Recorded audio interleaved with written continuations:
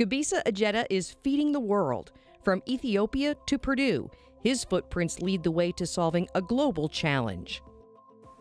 My name is Gebisa Ejeta. I'm a native of Ethiopia.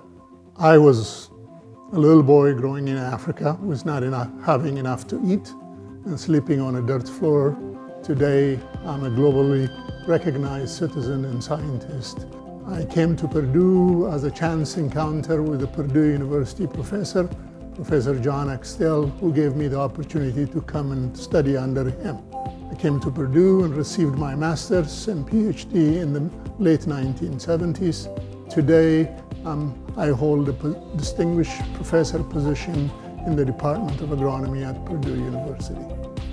I received the World Food Prize in 2009 for scientific discoveries that had allowed me to create sorghum varieties resistant to drought and parasitic weed that was used to feed millions in developing countries.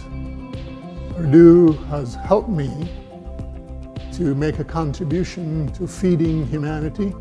And there is nothing more noble to serving humanity, and there is nothing more important in helping people feed themselves.